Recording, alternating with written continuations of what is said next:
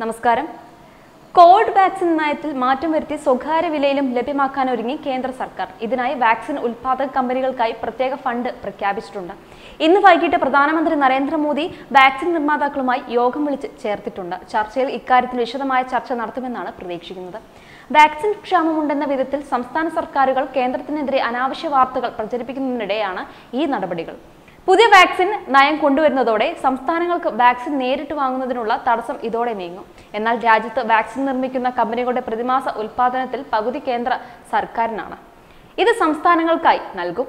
ശേഷിക്കുന്നത് സ്വകാര്യ ആശുപത്രികൾക്കും സംരംഭങ്ങൾക്കുമായി നൽകും.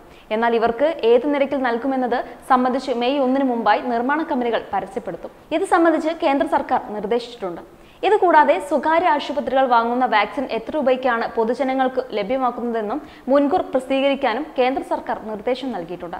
അതേസമയം സർക്കാർ ആശുപത്രികളിൽ മുൻഗണന വിഭാഗത്തിന് ഇപ്പോഴത്തെ രീതിയിൽ സൗജന്യമായി തന്നെ വാക്സിൻ കുത്തിവയ്പ് തുടരും. ഇന്ത്യയിൽ നിലവിൽ കോവിഷീൽഡ് കോവാക്സിൻ എന്നീ വാക്സിനുകളാണ് ഉപയോഗിക്കുന്നത്. മെയ് പകുതിയോടെ റഷ്യയുടെ സ്പുട്നിക് വാക്സിൻ രാജ്യത്ത് ഉപയോഗിച്ചേക്കും. കോവിഡ് പ്രതിരോധത്തിനായി കൂടുതൽ വാക്സിൻ ലഭ്യമാക്കുന്നതിനുള്ള നടപടികൾ ആരംഭിച്ചതായി കേന്ദ്ര ആരോഗ്യ മന്ത്രാലയം അറിയിച്ചിട്ടുണ്ട്.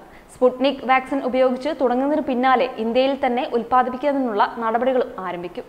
മാത്രമല്ല പതിനെട്ട് വയസ്സിന് മുകളിലുള്ള എല്ലാവർക്കും മെയ് ഒന്ന് മുതൽ കോവിഡ് വാക്സിൻ നൽകാൻ തീരുമാനമെടുത്തതിന് പിന്നാലെ പ്രധാനമന്ത്രി മോദി ഇന്ന് വാക്സിൻ നിർമ്മാതാക്കളുമായി ചർച്ച നടത്തും. ഇന്ത്യയിൽ വിതരണം ചെയ്യുന്നതിന് കേന്ദ്ര സർക്കാർ ഇതിനോടകം അനുമതി നൽകിയിട്ടുള്ളതും അനുമതിക്കായി കാത്തുനിൽക്കുന്നതുമായ കമ്പനികളുടെ മേധാവികൾ പ്രധാനമന്ത്രി വിളിച്ചു ചേർത്ത യോഗത്തിൽ പങ്കെടുക്കുമെന്നാണ് പ്രതീക്ഷിക്കുന്നത്.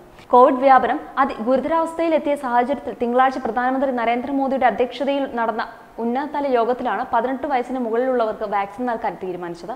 സർക്കാരിന് കീഴിലെ കോവിഡ് സെന്ററുകളിൽ വാക്സിനേഷൻ സൗജന്യമായിരിക്കും. മൂന്നാം ഘട്ടത്തിന്റെ ഭാഗമായി കോവിൻ ആപ്പിലൂടെ വാക്സിനേഷൻ രജിസ്റ്റർ ചെയ്യേണ്ട വിധം ഇങ്ങനെയാണ്.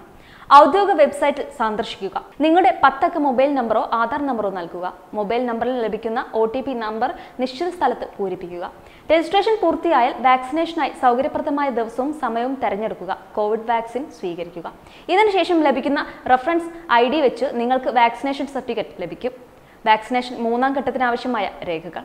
വാക്സിനേഷനായി രജിസ്റ്റർ ചെയ്യുന്ന വേളയിൽ ഫോട്ടോ പതിച്ച ഏതെങ്കിലും ഒരു തിരിച്ചറിയൽ രേഖ വേണം. Aadhaar PAN card voter I D driving licence passport തൊഴിൽ മന്ത്രാലയം അനുവദിച്ച ആരോഗ്യ ഇൻഷുറൻസ് സ്മാർട്ട് കാർഡ് മഹാത്മാഗാന്ധി ദേശീയ തൊഴിലുറപ്പ് പദ്ധതി തൊഴിൽ card M P M L A M L C എന്നിവർക്ക് അനുവദിച്ച ഔദ്യോഗിക തിരിച്ചറിയൽ രേഖ bank or post office passbook pension രേഖ കേന്ദ്ര സംസ്ഥാന സർക്കാരുകളോ പൊതുമേഖല സ്ഥാപനങ്ങളോ ജീവനക്കാർക്ക് അനുവദിക്കുന്ന സർവീസ് ഐ ഡി കാർഡ് മരുന്ന് നിർമ്മാതാക്കളിൽ നിന്ന് കോവിഡ് വാക്സിൻ നേരിട്ട് വാങ്ങാൻ കേന്ദ്രം സംസ്ഥാനങ്ങളെ അനുവദിച്ചിരുന്നു. വെബ് ഡെസ്ക് തത്വമേ ന്യൂസ്.